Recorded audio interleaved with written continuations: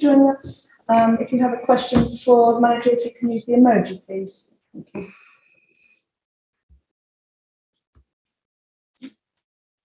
Uh, Matt Woosnam, The Athletic. Hi, Patrick. Um, just wondered, you know, your general thoughts on the game. Did you feel that your team maybe could have got a point at the end there? Yeah, I think, um, and I was hoping that we will get a point at the end because I think uh, we were the better team.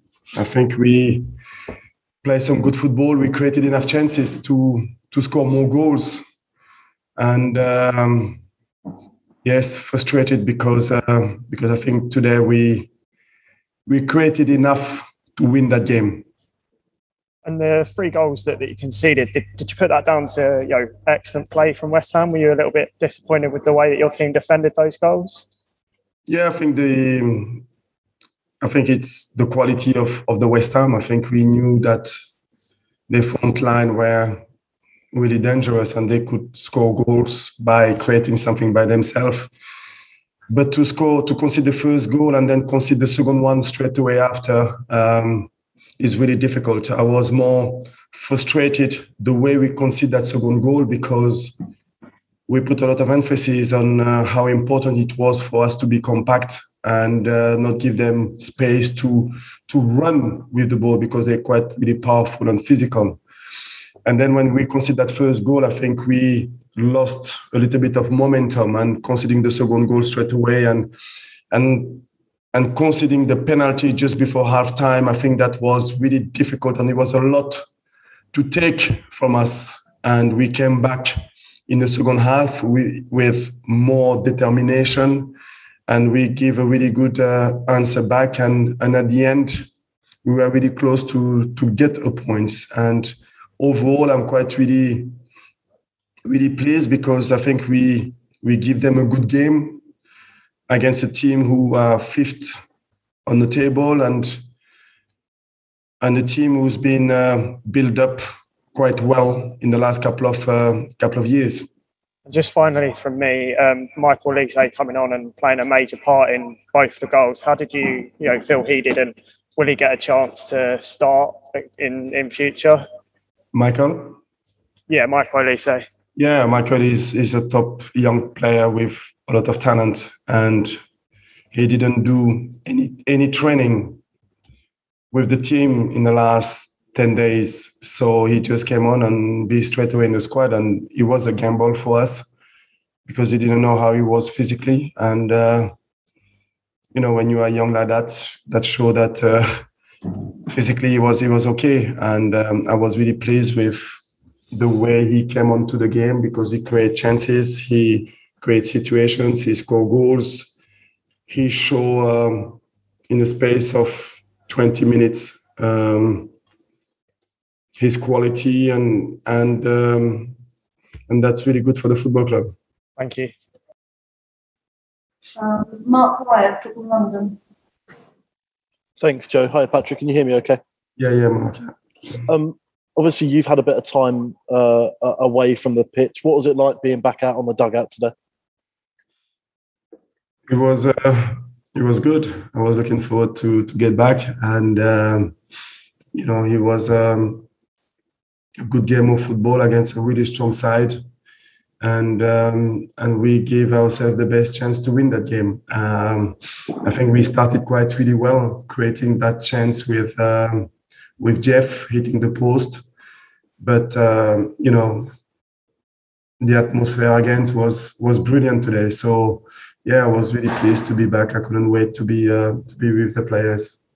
Um, I know this the last couple of weeks have been really difficult in, in knowing kind of what players you're even going to have available um, for the game. Could you talk us through um, the, the, last 24 hours, knowing that you wouldn't have Wilf or, or Cheikhou uh, available? How much did that, um, you know, hamper your plans?